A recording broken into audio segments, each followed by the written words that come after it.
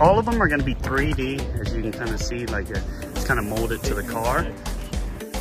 You can see it has like the little micro beads to kind of keep it in place. Yeah, they're pretty lightweight. I like the, the, the lightweight.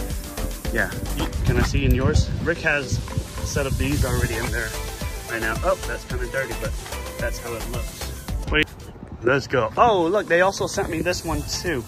Along with the uh, the new, they did send this ordeal as well.